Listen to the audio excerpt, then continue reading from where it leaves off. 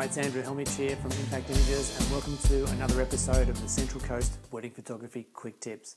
Today, I wanted to talk to you briefly about contracts, in particular your wedding photography contract. Now, when you book a photographer, chances are you'll be filling out a contract or signing a contract. Now, what you need to be aware of is the copyright situation. Now, it's totally normal for you to assign copyright to the photographer. Now, if they don't have a contract legally, if you paid them to photograph your wedding, you are the owner of those photographs or those files. They are legally yours. So by signing the contract, you're actually passing the copyright onto the photographer.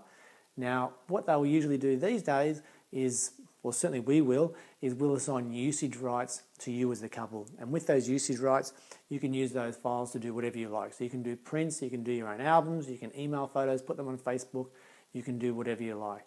But it's important that you read the fine print in those contracts Make sure that you are allowed to do your own prints legally, uh, otherwise, you may run into trouble in the future. If you're unsure about anything in the contract, make sure you bring that up with your photographer before you sign it and before you book. Make sure that your booking fee um, hasn't been paid until you understand fully the contract that you're signing. Also, be aware that um, even though you have the usage rights, the photographer will still retain the copyright and they may have something in their contract to say that they can use your photos for uh, entering awards, for advertising, for displaying, for use in the newspaper magazines, that sort of thing. So make sure you're okay with that. If not, strike that part out, initial it, have the photographer initial it too, and everything should be fine. You'll be able to protect your privacy if that's what you prefer to do.